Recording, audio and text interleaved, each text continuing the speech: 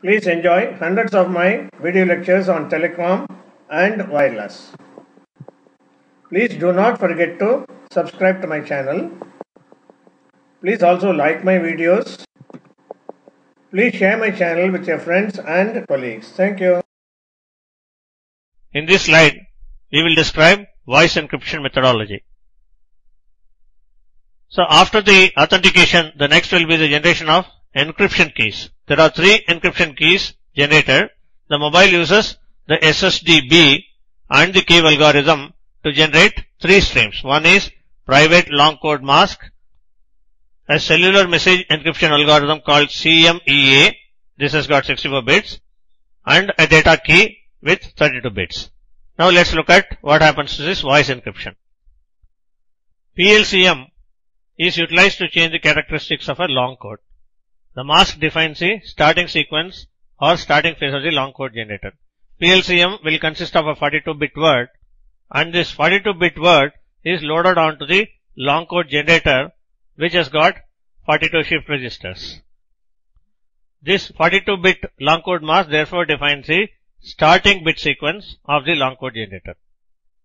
That is how the PLCM influences the starting phase of the long code generator. Please note here that the private long code mask does not directly encrypt voice signals. It simply forces the long code generator to start at a specific phase or a specific string of bits as commanded by the PLCM. Please note that this private value of PLCM is known only to the mobile and the network. Nobody else knows it. Why? The PLCM is unique because the RAND SSD is unique and the ESN is a unique for a particular mobile and the A key is also unique for a particular mobile and therefore SSD A and SSD B will be unique and consequently PLCM also will be unique. It is therefore extremely difficult for any other mobile to eavesdrop on this conversation without knowing the private long code mask. And this private long code mask also will vary from call to call. Why? the RAND SSD will vary from call to call. Now this modified long code is used for voice encryption. So what does the PLCM do?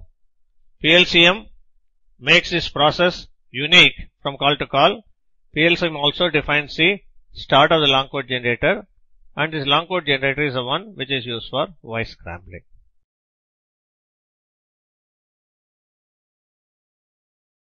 In this slide, let us look at the signaling encryption and the data encryption. We know that the mobile uses SSDB and the key algorithm to generate the private long code mask which was used for voice encryption and it also produces a cellular message encryption algorithm called CMEA consisting of 64 bits and a data key which consists of 32 bits. Now this CMEA key is mixed with another algorithm called enhanced CMEA to encrypt or decrypt signaling messages. Therefore, signaling consists of CMEA which is generated by using SSDB and also a special algorithm called enhanced CMEA. This is how signaling encryption is done. Now let's look at data encryption. Data encryption uses the data key which has been derived from SSDB and another special encryption algorithm called ORYX. So data key and ORYX are mixed to encrypt and decrypt data traffic.